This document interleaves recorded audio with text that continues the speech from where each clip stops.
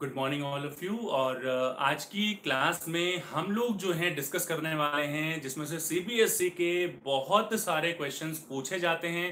Question इस chapter से आते हैं चाहे लास्ट ईयर की बात करूँ चाहे मतलब लास्ट ईयर तो एक छोटा सा एग्जांपल होगा। पिछले दस साल और इवन इस साल भी अगर आप देखेंगे तो you will find that there are like almost six to four marker questions are there from this chapter only इसी chapter से relate करते हैं इसी chapter से आते हैं so you need to be very attentive you need to be pay attention at the same time and keep responding time to time जहाँ पर भी ज़रूरत हो डाउट हो पूछ लीजिए शुरू करते हैं आज की क्लास सो स्टूडेंट्स अगर आज की क्लास की बात करें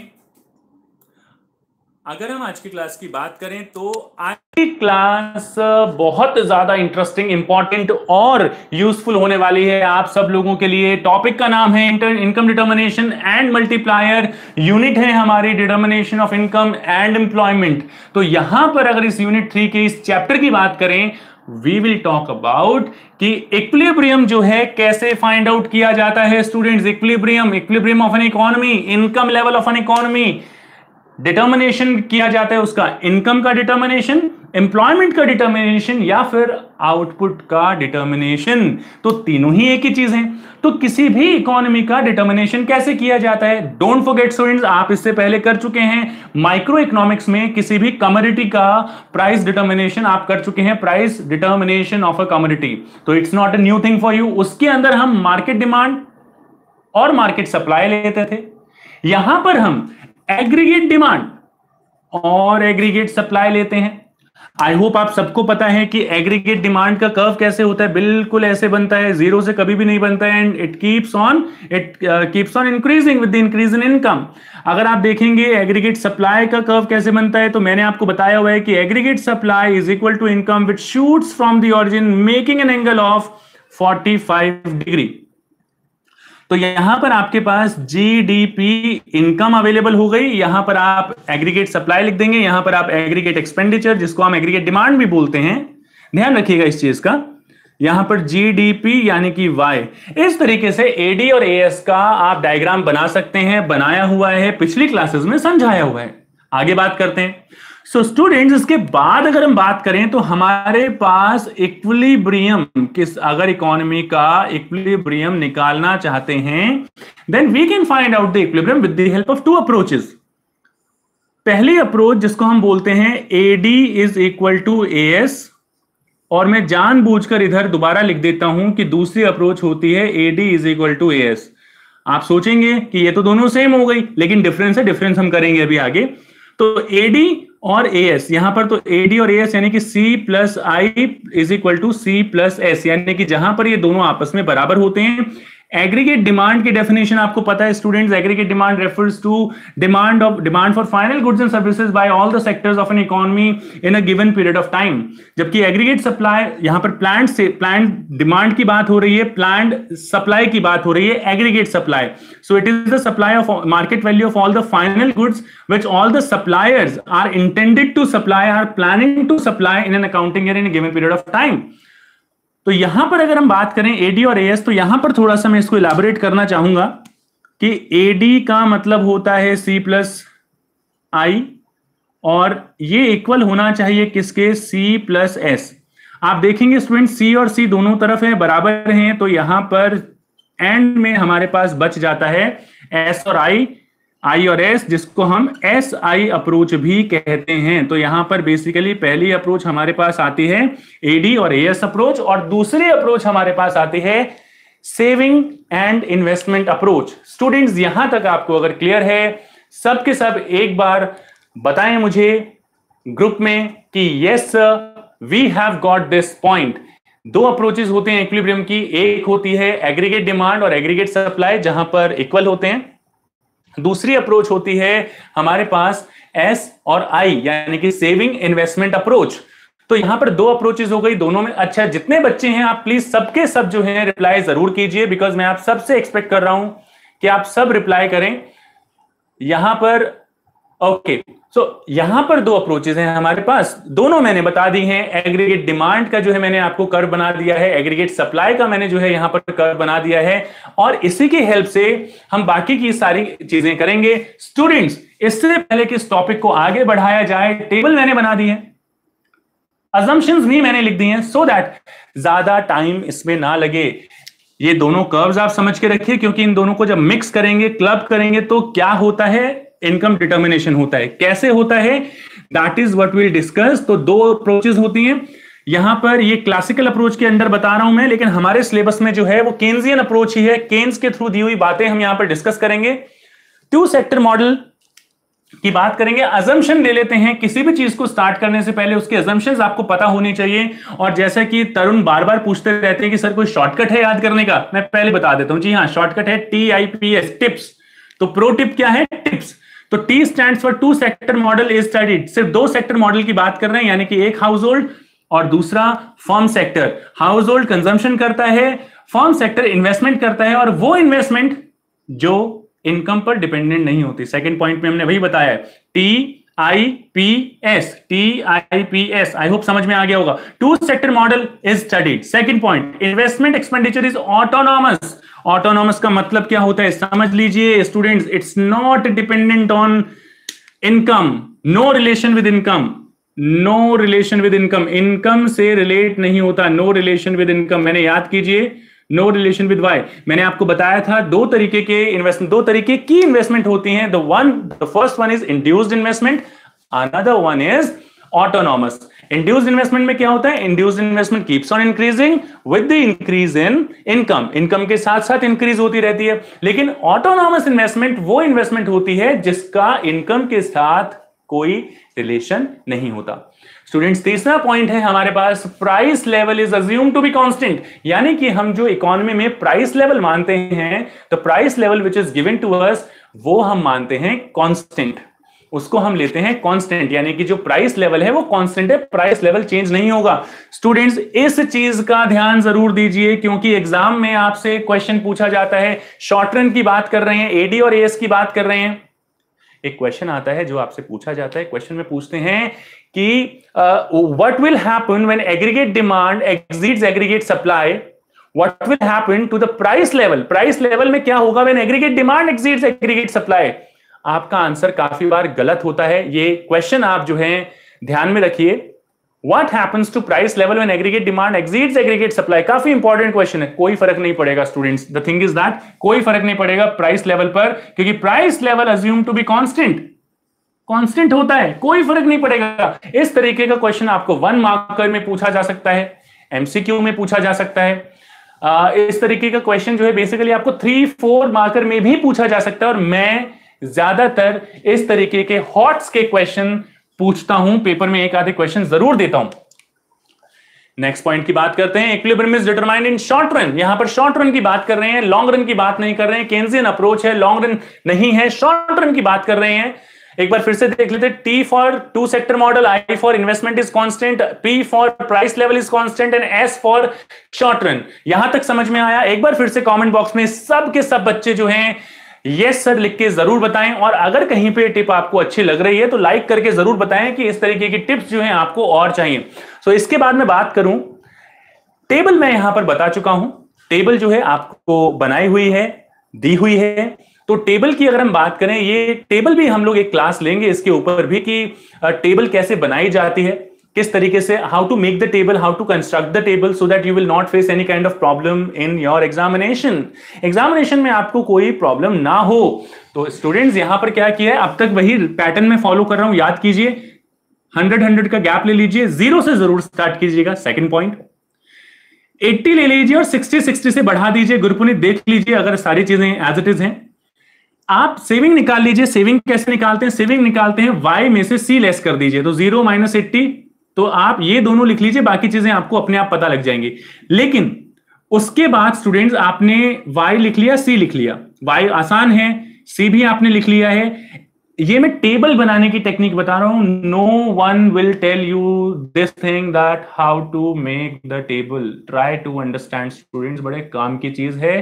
कान खोल के सुनिए और ज़बरदस्त तरीके से बता रहा हूँ। Pay attention so basically we have given income from zero to five hundred hundred hundred का गैप ले लीजिए। कंजम्पशन जैसे आपका मन करे, आप वैसे कंजम्पशन लीजिए। जैसे आप बनाना चाहें, वैसे आप बनाइए, कोई इशू नहीं है। सेविंग जो है, निकाल सकते हैं वाई माइनस सी यानी कि zero minus eighty minus eighty hundred minus one forty minus forty इस तरीके से निकाल लीजिए। एक जस्ट एक राय है आपसे। एक पॉइंट ऐसा ज़रूर रखिएगा जहाँ पर सी और वाई दोनों इक्वल हों। सो इन केस आप फर्दर किसी कैलकुलेशन के लिए यूज़ करना चाहते हैं टेबल तो आप वो भी कर पाए एमपीसी एमपीएस एपीसी एपीएस इनके केसेस में भी आप बड़े आराम से वही same to same table use कर सकते हैं।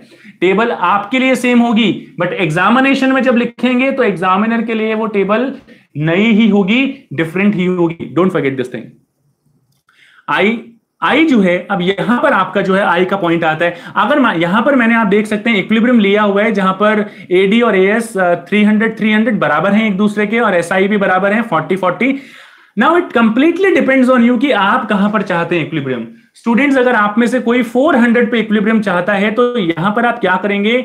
आई की जगह, यहाँ पर आई की वैल्यू क्योंकि कांस्टेंट होती है आई की वैल्यू आई ऑटोनॉमस है तो कांस्टेंट रहेगी।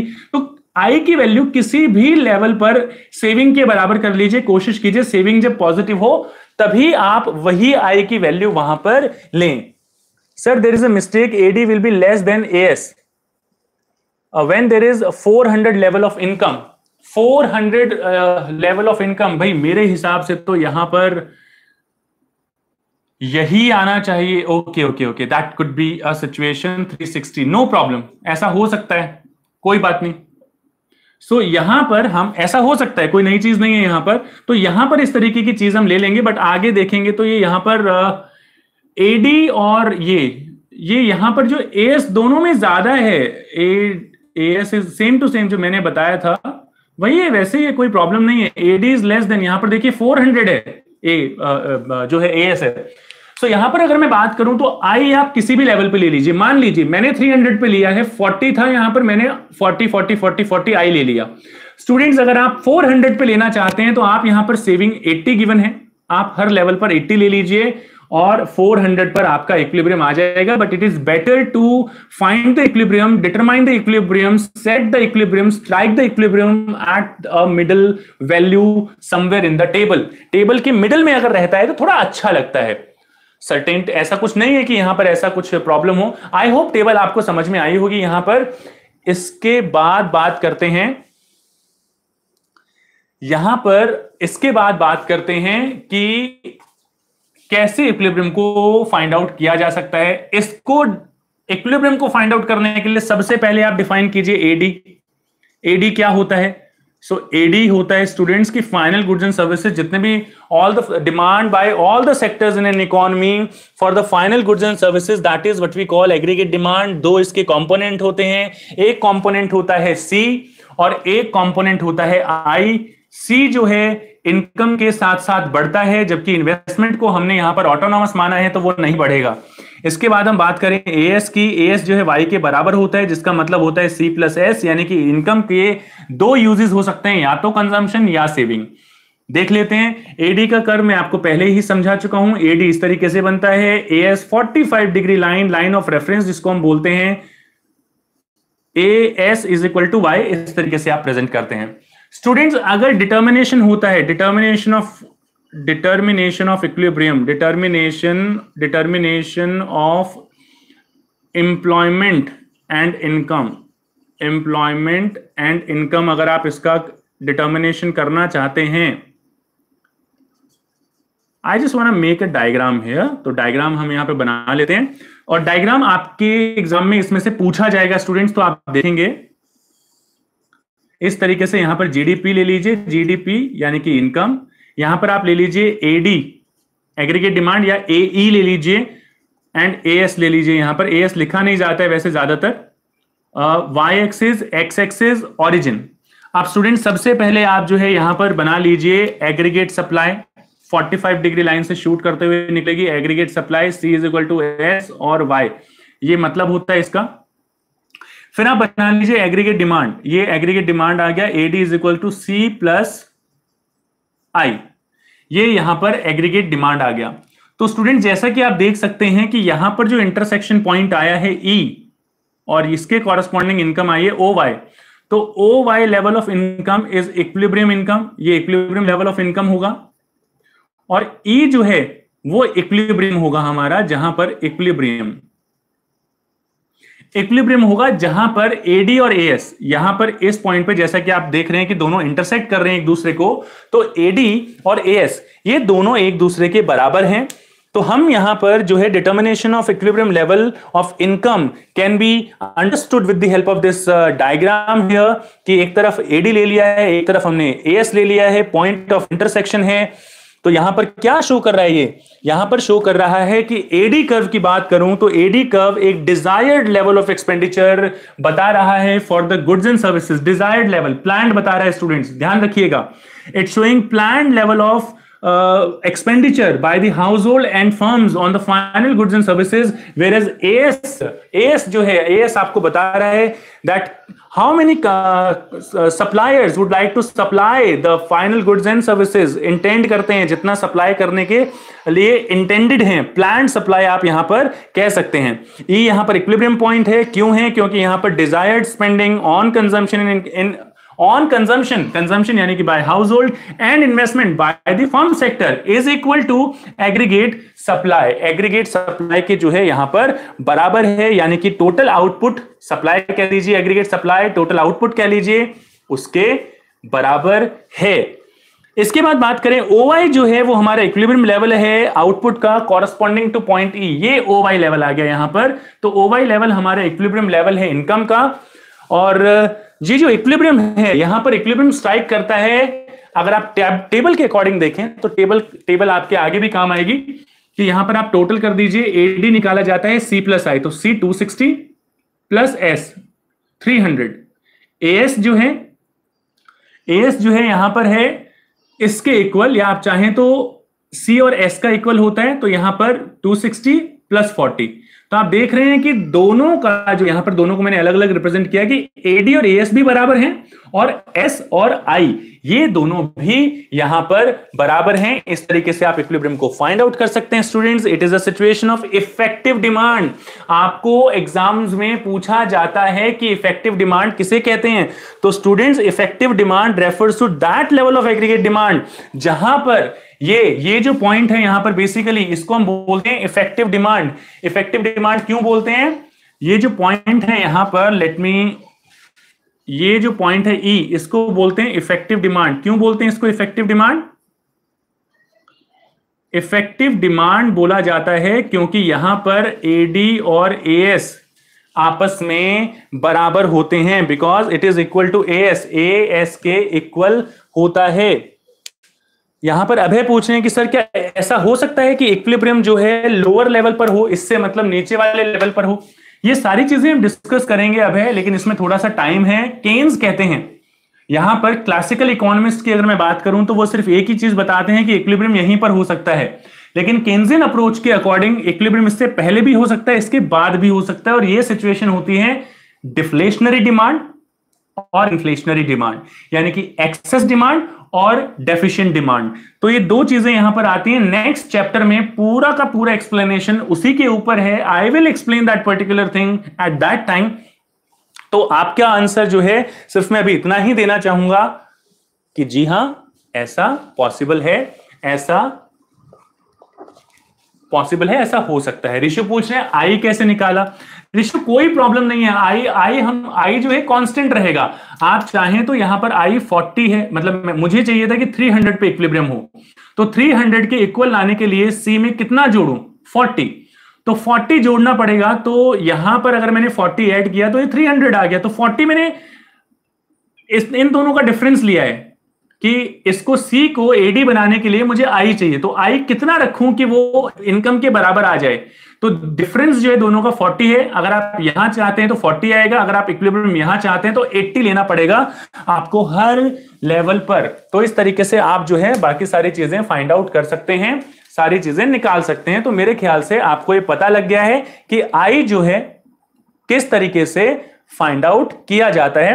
I don't think so there is a problem तो यहाँ तक अगर आपको क्लियर है आई थिंक सबका जो है मुझे यस सर ऑलरेडी एडवांस में आ रहा है and I need that particular thing students लेकिन लेकिन यहाँ पर एक बात आती है। क्या ऐसा हो सकता है कि एडी ज़्यादा हो कभी कभी एएस से या एडी कम हो? क्या एडी ज़्यादा हो? जैसा कि हमने, अब जो है मार्केट इक्विलिब्रियम जब हमने पढ़ा था माइक्रो इकोनॉमिक्स में, तब भी ऐसे सिचुएशंस हमने स्टडी की थी स्टूडेंट्स एंड आज भी हम लोग स्टडी करेंगे और मैं आपको बता दूँ कि ये क्वेश्चन सीबीएसई 2019 2019 में ये क्वेश्चन आ चुका है। मैं आपको यहाँ पर बताना चाहूँगा कि यहाँ पर डेविएशन हो सकता है इक्विलिब्रियम का। ऐसा हो सकता है कि एडी जो है वो ज़्यादा है एएस से। ऐसा हो सकता है एडी जो है कम है एएस से। यहाँ पर मैं बता भी चुका हूँ कि आप देख रहे हैं टेबल में टेबल बना दिए मैंने। ऊपर रिमार्क्स देख रहे हैं। एडी ज़्यादा है। पहले ऊपर लेवल की बात करें। AD is more than S नीचे देखें। एडी लेस देन एस और यहाँ पर देखें, जो इक्विलिब्रियम लेवल वहाँ पर एडी और एसआई दोनों बराबर हैं। तो ये सिचुएशन भी इकोनॉमी में प्रिवेल हो सकती है, जहाँ पर आपका जो है, इसको बोलते हैं हम एक्सेस डिमांड ये एक्सेस डिमांड की सिचुएशन कहलाती है और इसको बोलते हैं डेफिशिएंट डिमांड और यहाँ पर जो हीरो ऑफ़ स्टोरी होता है हीरो ऑफ़ द मूवी जो होता है, वो एग्रीगेट डिमांड है पूरा लाइमलाइट एडी पर ही आता है। क्योंकि शॉर्ट रन में केन्स के अकॉर्डिंग सप्लाई जो है, उसको परफेक्टली इलास्टिक माना गया है। तो AD is the hero of the entire movie entire chapter in the short run only सिर्फ़ शॉर्ट रन में। तो एडी ही वो वेरिएबल है जो इनकम को डिटरमाइन करता है, जिसकी हेल्प से इनकम डिटरमाइन हो सकती है। अब बात कर लेते हैं स्टूडेंट्स ऐसी सिचुएशन में क्या होगा? जब पहली सिचुएशन तो ये आ गई है हमारे पास। पहली सिचुएशन ये है, ये सीबीएसई बोर्ड के एग्ज़ाम में पूछा जा चुका है और दूसरी सिचुएशन ये है और ये भी सीबीएसई बोर्ड एग्ज़ाम में पूछा जा चुका है। स्टूडेंट्स काफ़ी बार, एक बार नहीं, काफ़ी बार और ऐसी ही सिचुएशन आएँगे जब हम एस और आई की हेल्प से जो है इक्विलिब्रियम को डिटरमाइन करेंगे।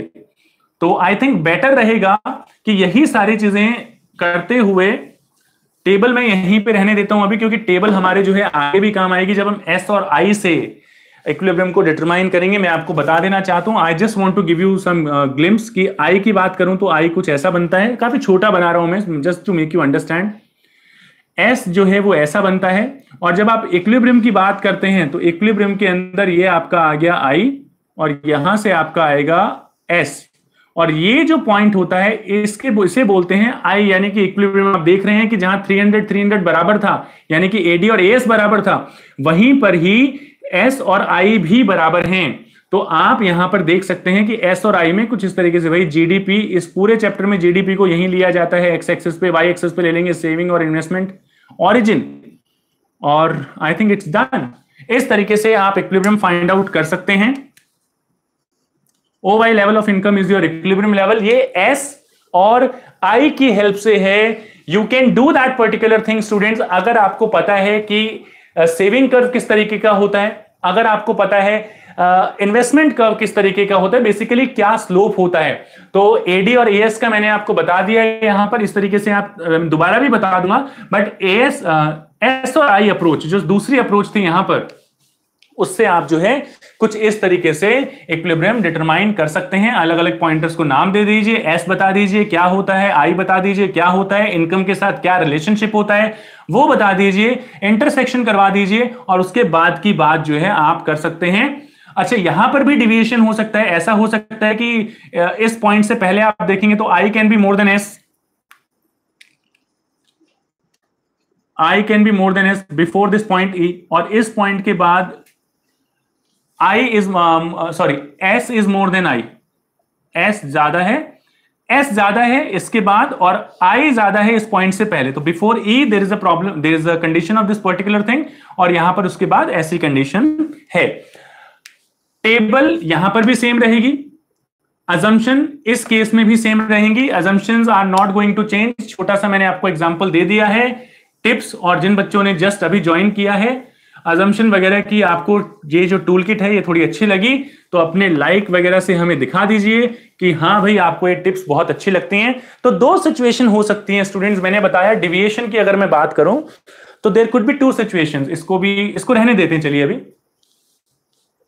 पहली सिचुएशन हो सकती है AD is more than A S यहाँ पर हमारे पास अब कहते हैं, sir at point E we can say that ex ante saving ex हाँ बिल्कुल यही चीज़ होती है भाई।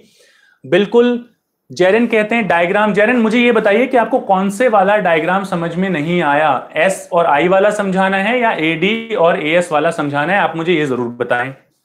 अगर आप ये समझाने की बात कह रहे हैं तो you can see that let me this is X axis this is X axis ये एम है जो नेगेटिव से स्टार्ट होता है, आपको पता है सेविंग नेगेटिव से स्टार्ट होती है, फिर राइज होती है इनकम के साथ पॉजिटिव इनकम के साथ पॉजिटिव रिलेशनशिप होता है, यानी कि जैसे जैसे इनकम बढ़ती है सेविंग भी बढ़ती है। तो सेपरेटली मैं इस तरीके का डायग्राम आपको बना के बता देता हूँ। ये एस है, आपने बनाया भी होगा एमपीएस वगैरह एपीएस वगैरह हमने फाइंड आउट किया था। And then we are having I I remains constant I stands for investment which is autonomous investment जो एजम्पन का पार्ट है, मैं ऑलरेडी आपको बता चुका हूँ। तो इन दोनों को क्लब कर देते हैं मिक्स कर देते हैं, एक साथ बनाते हैं तो इस तरीके का डायग्राम हमारे सामने आता है। इवन इवन अगर आप मुझसे ये डायग्राम पूछ रहे हैं तो एक और चीज़ मैं आप सब लोगों के लिए बनाऊँगा जस्ट इसके बाद फिर हम नेक्स्ट टॉपिक पे जाएँगे। तो यहाँ पर आप देख सकते हैं कि ये आई हो गया बेटा, और उसी डायग्राम में हमने एस को बना लिया। तो जहाँ पर एस और आई एक दूसरे के बराबर होते हैं that is the point of equilibrium that is what we call point of equilibrium of an economy so O Y level of income is the level of equilibrium level of income here और यहाँ पर ई e से पहले ई e से पहले अगर आप देखते हैं तो आप देख रहे हैं कि आई ज़्यादा है और एस कम है। एस उसके नीचे है। तो ई e के पॉइंट से पहले I is more than S और इस ई पॉइंट के बाद आप देख रहे हैं एस ऊपर है आई नीचे है। तो S is more than I ये दो चीज़ें मैंने बताई आपको। तो before point E I is more than S after point E E for equilibrium S is more than I अगर आपको समझ में आ गया क्लियर हो चुका है तो आप मुझे यस सर लिखकर ज़रूर बताएँ सो so दैट मुझे पता लगे कि आपको समझ में आ गया। स्टूडेंट्स एक और चीज़। डिफरेंस कुछ भी नहीं है यहाँ पर।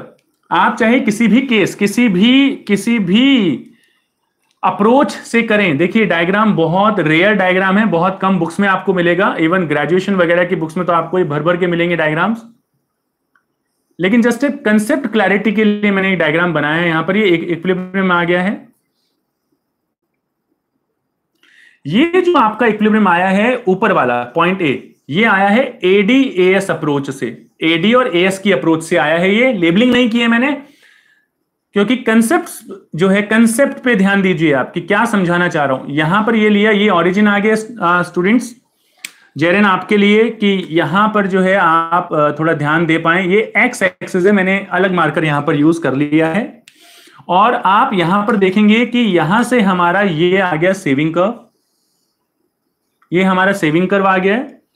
और यहाँ पर जिस पॉइंट पर ये जो लाइन हमने ड्रॉ की है, एक वर्टिकल लाइन हमने ड्रॉ की है, यहाँ से बिल्कुल एक स्ट्रेट लाइन लेके मैंने यहाँ पर लगा दिया आई आप इसको आई बार भी लिख सकते हैं, क्योंकि ये ऑटोनॉमस इन्वेस्टमेंट है तो यू कैन सी स्टूडेंट्स कि जहाँ इक्विलिब्रियम जो level of income O Y level जो ये डायग्राम दिखाता है सेम टू सेम वही लेवल ऑफ़ इनकम जो है, आपका ये वाला डायग्राम भी, यानी कि बी डायग्राम भी दिखाता है, जिसमें आपने S is equal to I approach को कंसिडर किया है।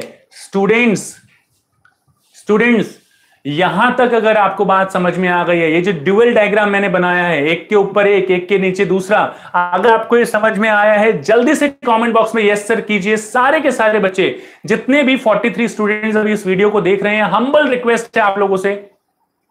समझ में आया? बताएँ ज़रूर।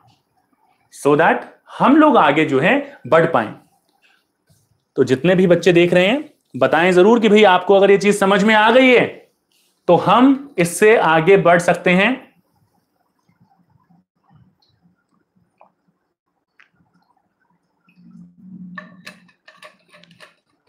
ओके okay, काफ़ी स्टूडेंट्स का रिप्लाई यहाँ पर आ रहा है आ चुका है तो चलिए इसके बाद बात करते हैं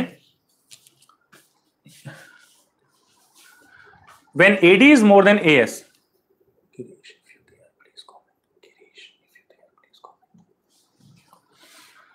अगर हम इसके बाद बात करें, ये भी हम हटा देते हैं। इक्विलिब्रियम की दो अप्रोचेस होती हैं। पहली एडी दूसरी एएस पहली एडी दूसरी एएस एडी में ऐसे इक्विलिब्रियम बनेगा। एस और आई में ऐसा इक्विलिब्रियम बनेगा। I hope that is absolutely clear to all the students अब समझने वाली बात ये है स्टूडेंट्स आपको फिर भी अगर कोई प्रॉब्लम हो स्टूडेंट्स वीडियो के बाद में भी वीडियो थोड़ा प्रोसेसिंग में टाइम लगता है। वीडियो प्रोसेस होने में तो आप कमेंट बॉक्स में कमेंट करके भी मुझसे पूछ सकते हैं। अगर बाद में भी आपको कोई प्रॉब्लम यहाँ पर आती है, काफ़ी बच्चे पूछते हैं, पहले सिचुएशन हो सकती है। When AD is more than S जब एडी जो है, मैं बात कर रहा हूँ डिविएशन की। अब तक हमने बात की कि एडी और एस जहाँ पर बराबर होते हैं, वो बेसिकली हमारा इक्विलिब्रियम होता है। दो सिचुएशन हो सकते हैं इसके बाद डेविएशन की। कि जब डिविएशन आता है डिविएशन यानी कि जब एडी और ए एस जो है बराबर नहीं होते तो कब नहीं होते? जब एडी जो है ज़्यादा होता है ए एस से और जब एडी कम होता है ए एस से। आप ए एस का नाम कभी भी नहीं लेंगे, पहले आप एडी से ही स्टार्ट करेंगे, मैं आपको पहले बता चुका हूँ that the hero of the story is aggregate demand क्योंकि केन्स ने ए एस को परफेक्टली इलास्टिक माना है। इस जो है केन्स ने इसको परफेक्टली इलास्टिक माना है।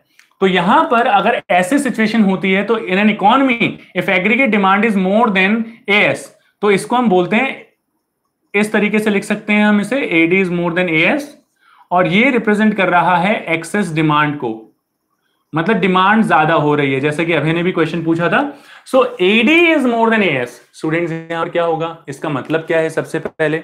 इसका मतलब ये है कि बेसिकली uh, यहाँ पर जो प्लान स्पेंडिंग है बेसिकली जो प्लान स्पेंडिंग है is more than plan output इसको हम बोलते हैं एग्रीगेट डिमांड की प्लान स्पेंडिंग जो है प्लान एक्सपेंडिचर आप कह सकते हैं स्पेंडिंग कह सकते हैं. It means that planned expenditure is more than, is more than planned output. Output क्या है भाई?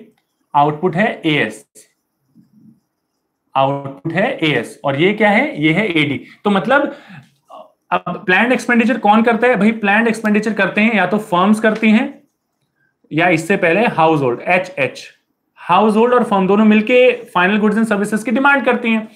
तो यहाँ पर इनकी जो डिमांड है, वो आउटपुट से ज़्यादा है। प्लान आउटपुट हम बार बार प्लान प्लान प्लान की बात करते हैं तो इससे ज़्यादा है। इसका मतलब ये है कि फर्म और हाउस होल्ड ज़्यादा गुड्स डिमांड कर रहे हैं जबकि आउटपुट जो है वो कम है। Firms are willing to produce less यानी कि फर्म जो है फर्म कम प्रोड्यूस कर रही हैं। अब यहाँ पर क्या होगा कि जो स्टॉक इनके पास है इन्वेंट्री जो है प्लान इन्वेंट्री ये थोड़ा सा कॉम्प्लिकेटेड हो सकता है, जो डाउट है, आप पूछ लीजिए। आउटपुट यानी कि इन्वेंट्री जो हमारे पास स्टॉक पड़ा हुआ है तो planned inventory will fall below the desired level will fall below the desired level below the desired level desired level से कम हो जाएगी। क्योंकि क्या हुआ? क्योंकि डिमांड जो है ज़्यादा है सप्लाई कम है तो इन्वेंट्री आपकी कम पड़ जाएगी डिजायर्ड लेवल से। अब यहाँ पर क्या होगा? To bring the desired to bring the desired inventory back to the equilibrium to bring the desired level of inventory back to the equilibrium point.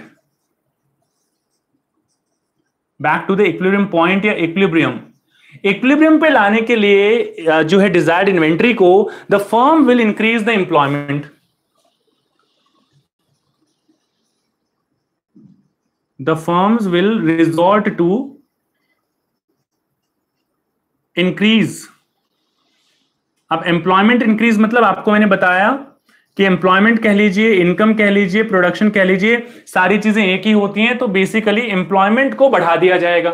अब एम्प्लॉयमेंट को बढ़ाया जाएगा तो बेसिकली क्या होगा? यहाँ पर आउटपुट भी बढ़ेगा। एंड आउटपुट आउटपुट भी बढ़ेगा। और जब आउटपुट बढ़ेगा तो आउटपुट को तब तक बढ़ाया जाएगा, जब तक कि ये दोनों आपस में बराबर नहीं हो जाते until the economy is back until the economy is back किस लेवल पर? Until the economy is back at output level of O Y output level of O Y तब तक बढ़ाया जाएगा, तब, जब तक जो है फुल एम्प्लॉयमेंट जो है ओ वाई लेवल तक नहीं आता यानी कि जहाँ, यहाँ पर ए डी और ए एस फर्दर बराबर नहीं हो जाते तब तक ये बढ़ाया जाएगा जहाँ तक ए डी और ए एस बराबर नहीं हो जाते। स्टूडेंट्स ध्यान दीजिए कि स्टार्टिंग में कंडीशन कुछ और थी। स्टार्टिंग में कंडीशन थी when A D is more than A S ये था। अब यहाँ पर जो सप्लायर्स हैं, उनके पास इन्वेंट्री प्लान इन्वेंट्री जो है, उसका स्टॉक जो है कम हो जाएगा। कम हो जाएगा तो स्टॉक को बढ़ाने के लिए वो क्या करेंगे? डिजायर्ड लेवल ऑफ़ स्टॉक को बढ़ाने के लिए इक्विलिब्रियम को बढ़ाया मतलब सॉरी इक्विलिब्रियम नहीं firms will resort to increase the employment employment and output output और एम्प्लॉयमेंट जब बढ़ेंगे तो तब तक बढ़ता रहेगा जब तक एडी और एएस दोनों आपस में इक्वल नहीं हो जाते। सो so, अगर यहाँ तक किसी को कोई कुछ पूछना है आराम से टाइप कीजिए बताइए कि आपका आपकी क्या प्रॉब्लम है क्या चीज़ आपको समझ में नहीं आया नहीं आई। इसके अलावा इसको काफ़ी लोग प्रॉफिट से भी रिलेट करके बताते हैं। कि ऑल्टरनेटिव अप्रोच है, आपको नोट्स जो है, मैं ऑलरेडी शेयर कर चुका हूँ तो नोट्स में आपको इस तरीके की चीज़ें मिलेंगी कि हम प्रॉफिट से रिलेट करके भी इसको समझा सकते हैं कि जब एडी ज़्यादा है और ए एस कम है तो ए एस कम है मतलब प्रोड्यूसर प्रॉफिट ज़्यादा कमा सकते हैं, लेकिन उनको जो है प्रॉफिट कम हो रहा है तो प्रॉफिट श्रिंक हो रहा है। तो प्रॉफिट श्रिंक हो रहा है प्रॉफिट को बढ़ाने के लिए ये लोग क्या करेंगे? प्रोड्यूसर्स क्या करेंगे? They will increase the output they will resort to increase output और एम्प्लॉयमेंट और जब ये उसको बढ़ाएँगे तो वापस एडी और एएस दोनों आपस में बराबर हो जाएँगे। स्टूडेंट्स एक और चीज़ है यहाँ पर। क्या है? कि ये डिविएशन का सिर्फ़ पहला क्वेश्चन है। ये क्वेश्चन मैं आपको बता देता हूँ। ये क्वेश्चन सीबीएसई 19 जो मुझे अब तक याद है सीबीएसई 2019 में ये क्वेश्चन थ्री मार्क्स का पूछा जा चुका है। एक क्वेश्चन एडी और एएस का था और एक क्वेश्चन एस और आई का था। मैं आपको बता दूँ, यहाँ पर एडी अगर ज़्यादा है एएस से तो ये सिचुएशन है कि I is more than S इनमें ज़्यादा फ़र्क कुछ नहीं होता है स्टूडेंट्स बस थोड़ा सा आपको लैंग्वेज चेंज करना पड़ता है and all the things will be similar और यहाँ पर जो है आई जो है कम होता है एस से। तो यहाँ पर जो है बेसिकली ये दो सिचुएशंस ली जाती हैं, दोनों एक दूसरे को रिप्रेजेंट करते हैं सिनोनिम है एक दूसरे के। अगर आप इनको रिलेट करके समझ सकते हैं, काफ़ी सारे बच्चे रिलेट नहीं कर पाते इनको, वो समझ नहीं पाते कि एडी ज़्यादा है तो एस ज़्यादा होगा या आई ज़्यादा होगा। तो स्टूडेंट्स मैं आपको एक फिर से एक प्रो टिप देना चाहता हूँ, फिर से एक प्रो टिप देना चाहता हूँ। एडी का मतलब होता है सी प्लस आई तो आई यहाँ पर है तो आई से आई को कनेक्ट कीजिए तो आई एडी से कनेक्ट होता है और ए एस ए एस में होता है सी प्लस एस तो एस से जो है एग्रीगेट सप्लाई का पार्ट होती है। तो अगर I is more than S है तो मतलब समझ जाइए कि aggregate demand is more than aggregate supply और I is less than S है तो आप समझ जाइए कि it is a case where aggregate demand is less than aggregate supply students ये तो रहा फ़र्स्ट सिचुएशन फ़र्स्ट केस की उसमें क्या करते हैं? स्क्रीनशॉट लेना है। स्क्रीनशॉट ले लीजिए। नोट्स में आपको पहले से दे चुका हूँ एक्सप्लेन कर चुका हूँ सारी चीज़ें। इसका ऑपोजिट केस लेंगे स्टूडेंट्स हम। अभी जो है, हम इसका ऑपोजिट केस लेंगे और क्योंकि काफ़ी सारी चीज़ें आप यहाँ पर समझ चुके हैं तो बहुत ज़्यादा एक्सप्लेनेशन मैं यहाँ पर सेकंड केस में नहीं दूँगा। मैं सिर्फ़ लिखूँगा when AD is less than less than aggregate supply अब यहाँ पर क्या है? यहाँ पर बेसिकली रिवर्स सिचुएशन है। यहाँ पर जो plan let me change the marker इस कंडीशन में क्या है स्टूडेंट्स यहाँ पर जो है, वो प्लान एक्सपेंडिचर जो है, वो कम है। यानी कि हाउस होल्ड और फर्म्स करती हैं, मैंने आपको पहले ही बताया यहाँ पर। तो plan expenditure is less than plan output यानी कि अब प्लान आउटपुट सप्लायर के पास सप्लायर्स ने जो है सेलर्स ने जो है, वो प्रोड्यूस तो कर लिया, लेकिन उसके अकॉर्डिंग उतनी डिमांड नहीं हो रही। तो demand is less than plan output यानी कि सप्लाई जो है एग्रीगेट सप्लाई ज़्यादा है एग्रीगेट डिमांड कम है। इससे क्या होगा students plan inventory will rise above the desired level तो यहाँ पर लिखेंगे plan inventory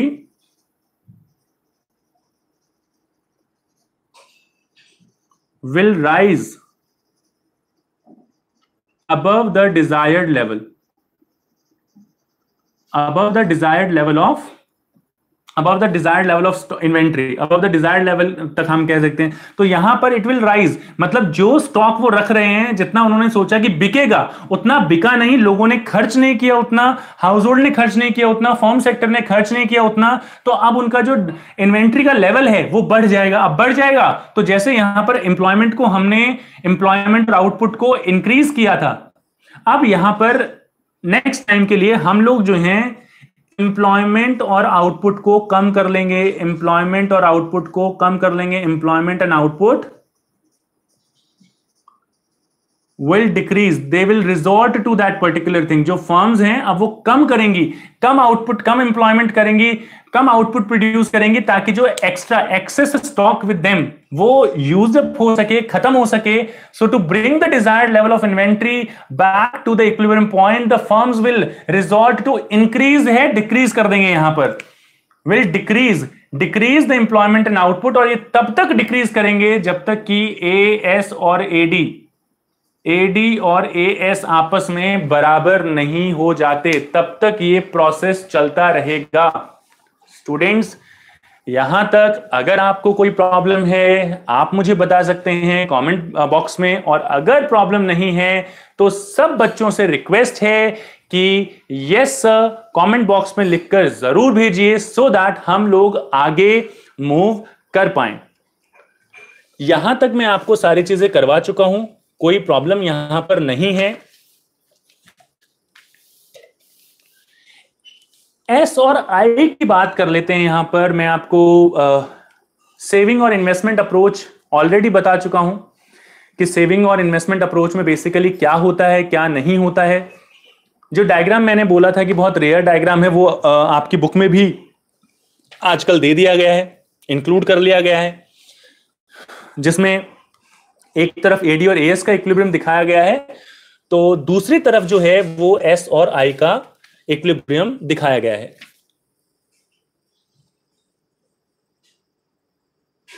अब यहाँ पर एक और चीज़ आपको समझनी ज़रूरी है कि ये जो इक्विलिब्रियम हम बोल रहे हैं बार बार ये इंक्रीज हो रहा है डिक्रीज हो रहा है डिविएशन एडी कम है, ज़्यादा है, इसमें तीन सिचुएशन हो सकते हैं कि ये इक्विलिब्रियम पर फुल एम्प्लॉयमेंट पर हो भी सकता है और नहीं भी हो सकता। इसकी भी, इसके बारे में हम और भी काफ़ी स्टडी करेंगे। आगे हम ये सारी चीज़ें आपको बताएँगे। Definitely will discuss all these points in our next class कि क्या क्या इक्विलिब्रियम लेवल हो सकते हैं फुल एम्प्लॉयमेंट हो सकता है अंडर एम्प्लॉयमेंट हो सकता है मोर देन फुल एम्प्लॉयमेंट भी हो सकता है। तो एडीएस हमारा कंप्लीट हो गया है। एस और आई का डायग्राम मैंने आपको बता दिया था, लेकिन फिर भी अगर आप डायग्राम दोबारा से पूछना चाहें, बनवाना चाहें तो मैं आप लोगों के लिए दोबारा से डायग्राम बना सकता हूँ। I don't have any problem students कोई प्रॉब्लम नहीं है, कोई इशू नहीं है। हम आपके लिए दोबारा से डायग्राम बना सकते हैं। अगर बनाने की ज़रूरत है यस और नो सबसे यस सर या no sir make the diagram और डोंट मेक द डायग्राम बता दीजिए, लिख दीजिए सो दैट हम दोबारा से वो चीज़ कर पाए। क्योंकि आपको समझ में आना चाहिए। ये सारी चीज़ें आपके लिए हो रही हैं। तो अगर आपको समझ में नहीं आया तो फिर ये किसी यूज़ का नहीं है। ये सारी चीज़ें यूजलेस हैं, अगर आपको समझ में नहीं आया। तो आप प्लीज़ मुझे बताइए कि डायग्राम बनाना है या नहीं बनाना। So explain the diagram once again okay हमारे पास वंदित जो हैं, बता रहे हैं। चलिए भाई डायग्राम बना देते हैं फिर इस बात पे हम, कोई बात नहीं। ये लीजिए एक्स एक्सेस ये आ गया वाई एक्सेस आप चाहें तो सबसे पहले आई बना लीजिए यहाँ पर वंदित। आप चाहें तो सबसे पहले एस बना लीजिए, कोई प्रॉब्लम नहीं है। ऑरिजिन है ये। एम आर जो भी पॉइंट नाम देना है इन्वेस्टमेंट सेविंग इधर आ जाएगा जीडीपी यहाँ पर आ जाएगा इनकम यहाँ पर आ जाएगी। आपके लिए मेरे मेरे पास एक क्वेश्चन है, आप सबके लिए। यहाँ पर ये जो है लेट से ये टी पॉइंट है। इस टी पॉइंट को क्या कहते हैं? ये इसमें नहीं है। मैं आपसे पूछ रहा हूँ, इस टी पॉइंट को क्या कहते हैं? कमेंट बॉक्स में मुझे ज़रूर बताएँ कि इस टी पॉइंट के लिए एक स्पेशल नाम होता है हमारे लिए, हमारे पास। जो तीन वर्ड्स का होता है तो आप मुझे बताइए उसको क्या बोला जाता है। तो this is point of equilibrium जहाँ पर एस और आई ये एस और आई अप्रोच से मैंने बताया कि आप यहाँ पर भी देख सकते हैं कि 40 40 है, दोनों इक्वल हैं, और O Y level of income जो है यहाँ पर आ जाता है। अगर आप बात करें before E before point E point E से पहले और फिर नीचे मैंने लिखा है बिफोर के बाद after point E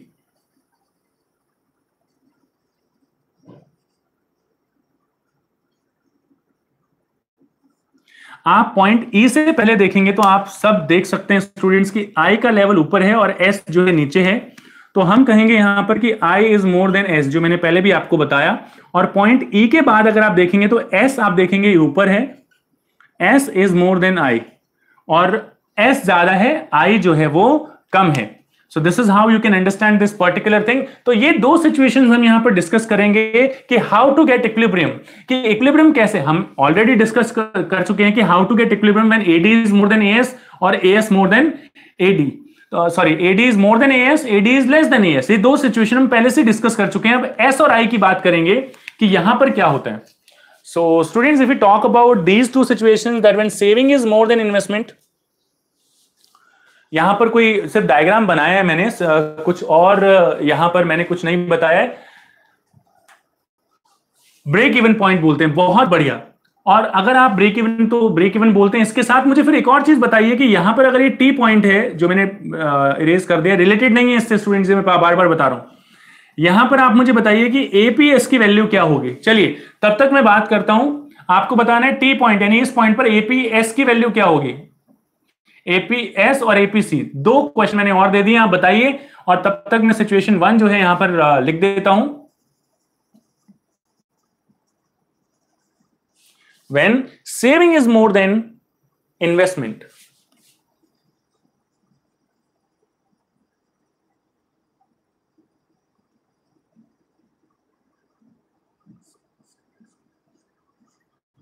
saving is more than investment, कि जब सेविंग जो है आपकी ज़्यादा होती है इन्वेस्टमेंट से तो उस पॉइंट पर आप क्या करेंगे? आप जो है यहाँ पर, ये वो केस है, ये दूसरा केस है। It is a situation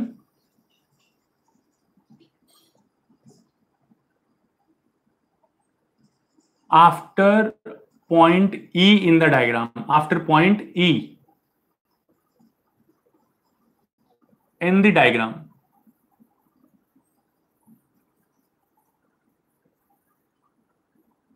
Diagram में S is more than I ये वाला इस पॉइंट के बाद यहाँ पर। तो इस केस में क्या करेंगे स्टूडेंट्स क्या हो सकता है? सो so, यहाँ पे plant savings are more than plant investment यानी कि यहाँ पर जो प्लान सेविंग्स है, वो ज़्यादा है इन्वेस्टमेंट से, यानी कि प्लान पीएस लिख रहा हूँ मैं and P I P I यानी कि plan investment plan savings more than P I से ज़्यादा है। तो यहाँ पर इसका मतलब ये है कि सेविंग ज़्यादा हो रही है इन्वेस्टमेंट देखिए, फिर से समझिए इसको।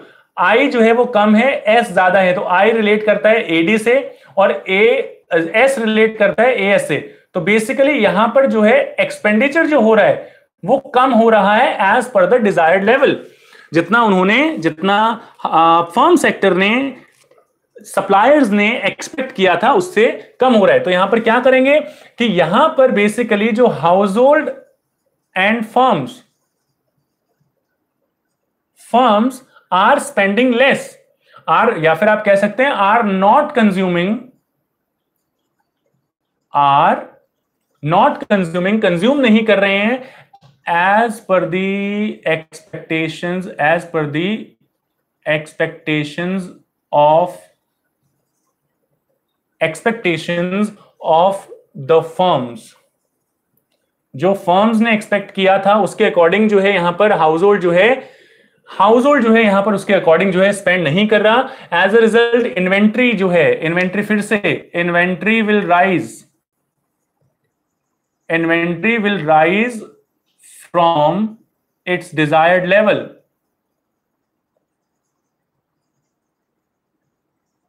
Desired level मतलब पाइलअप हो जाएगा। जब गुड्स बिकेंगे नहीं तो इन्वेंट्री जो है बढ़ जाएगी, ज़्यादा हो जाएगी स्टॉक पाइलिंग हो जाएगी। और इसको to clear to clear the unwanted stock ये जो अनवांटेड स्टॉक हमारे पास आ गया है अनवांटेड स्टॉक क्या करेंगे firms to clear the unwanted stock the firms will resort to decrease in employment, reduce the production. The firms will resort to decrease the production production को decrease कर देंगी production को decrease करेंगी तो उससे क्या होगा? इनकम भी डिक्रीज हो जाएगी। प्रोडक्शन डिक्रीज हो जाएगा एम्प्लॉयमेंट कम हो जाएगी इनकम कम हो जाएगी। और ये प्रोडक्शन तब तक कम होता रहेगा till plant savings will not become और आप कह सकते हैं थोड़ा सा ये state plant saving will become equal to will become equal to plant investment ये प्रोसेस तब तक चलेगा जब तक plant saving plant plant investment के बराबर नहीं हो जाती। एपीएस कह रहे हैं वन होगा एपीएस वन नहीं होगा, बेटा, यहाँ पर एपीएस जो होगा यहाँ पर क्योंकि ज़ीरो है तो एपीएस विल बी ज़ीरो और एपीसी विल बी वन तो जिन बच्चों ने भी आंसर दिया है, मैं आपको बता देना चाहता हूँ कि ये सिचुएशंस हैं। और when saving is more than वाला केस अगर आपको समझ में आया है तो स्टूडेंट्स कहीं पे कुछ प्रॉब्लम है, पूछना चाहते हैं, पूछ लीजिए। आपके सामने सारी चीज़ें लिखी हुई हैं कि यहाँ पर बेसिकली यहाँ पर हम फॉर्म्स को हटा देते हैं, क्योंकि यहाँ पर फॉर्म्स नहीं आएँगी। यहाँ पर सिर्फ़ हाउस होल्ड आएगा। फॉर्म्स तो क्योंकि इन्वेस्टमेंट के लिए रिस्पॉन्सिबल है यहाँ पर। तो यहाँ पर अगर आपको समझ में आया, एक दो बच्चे जो है यस सर लिख रहे हैं, जी हाँ, अब जो है खुलकर यस सर आने शुरू हो गए हैं। That's a very great thing students बाकी बच्चों से भी रिक्वेस्ट है कि सारे के सारे बच्चे जल्दी से यस सर लिखिए और भेज दीजिए और बताइए कि कहीं पे कोई डाउट है जो मैं क्लैरिफाई कर पाऊँ, आप मुझसे पूछ सकते हैं। इसके ऑपोजिट केस आता है स्टूडेंट्स इसके बाद। इसके ऑपोजिट केस में क्या होगा?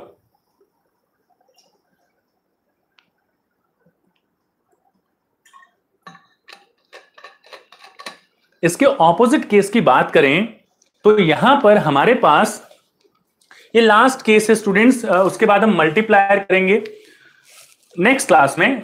तो यहाँ पर बेसिकली क्या होगा कि इसका दूसरा केस है when savings are less than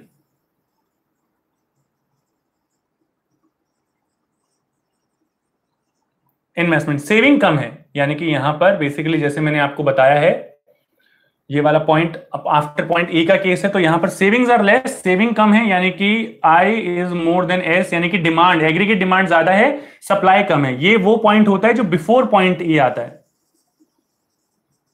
ये वो सिचुएशन है जो पॉइंट ई से पहले की होती है, इससे पहले। S is less than I I ज़्यादा है एग्रीगेट डिमांड ज़्यादा है, और सप्लाई कम है मतलब यहाँ पर ये होगा कि जो हाउस होल्ड एक्सपेंडिचर है household is consuming household is consuming more more than what is expected than what is expected by firms what is expected by firms क्या होगा desired level of inventory desired level of inventory क्या होगी students जब demand ज़्यादा हो रही है तो डिजायर्ड लेवल ऑफ़ इन्वेंट्री जो है आपकी फॉल हो जाएगी गिर जाएगी डिजायर्ड लेवल ऑफ़ इन्वेंट्री कम हो जाएगी क्योंकि हाउस होल्ड कंज्यूम ज़्यादा कर रहा है। तो डिजायर्ड लेवल ऑफ़ इन्वेंट्री कम होगा तो क्या होगा? यहाँ पर जो है, इस सिचुएशन से, इस शॉर्टेज से कॉम्बेट करने के लिए, या आप कह सकते हैं to bring the desired inventory to bring the desired inventory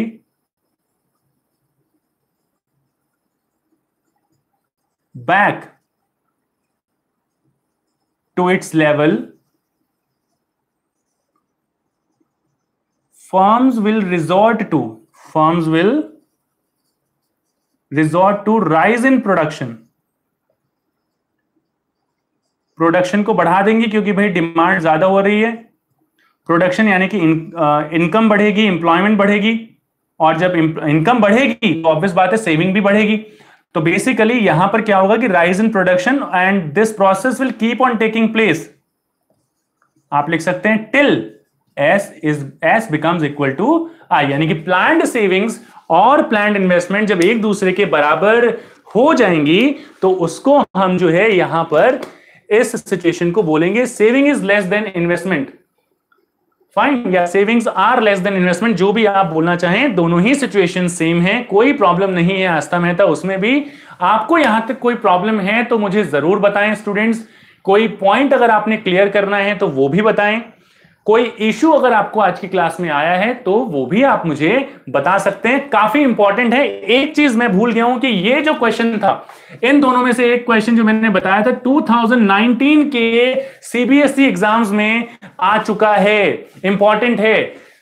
fine इस तरीके की चीज़ें काफ़ी बार एग्ज़ाम्स में पूछी जा चुकी हैं बार बार पूछी जाती हैं कि क्या होगा इंक्रीज या डिक्रीज का क्या फ़र्क पड़ेगा? 2009 2015 2017 2006 अलग अलग जो है, सालों में जो है इस इस कंसेप्ट को जो है पूछा जा चुका है। 2014 ऑल इंडिया कंपार्टमेंट में आ चुका है ये क्वेश्चन ये क्वेश्चन जो है एग्रीगेट डिमांड की बात करूँ तो 2016 में आ चुका है। इसी क्वेश्चन की बात करूँ 2011 में आ चुका है। तो बहुत बार ये क्वेश्चन रिपीट हो चुका है। अच्छे से कीजिए, सही तरीके से कीजिए। और यहाँ पर आज की क्लास हम खत्म करते हैं। मल्टीप्लायर पे एक वीडियो में ऑलरेडी जो है अपलोड कर चुका हूँ। आज उसे पब्लिक करने वाला हूँ। तो आप जो है मल्टीप्लायर का कंसेप्ट एडवांस में समझ सकते हैं। अगर समझना चाहें, इसी तरीके से पढ़ते रहिए स्टूडेंट्स काफ़ी अच्छा लगता है जब आप लोगों के लिए बनाए गए वीडियोस को आप लोग इतने प्यार से देखते हैं। अच्छा लगा, समझ में आया। जिन बच्चों ने लाइक कर दिया है, बहुत अच्छी बात है। लाइक नहीं किया है तो कर दीजिए। मिलते हैं किसी और क्लास में। Till then keep learning keep studying and keep watching you know what. Thank you all of you. See you in my next video.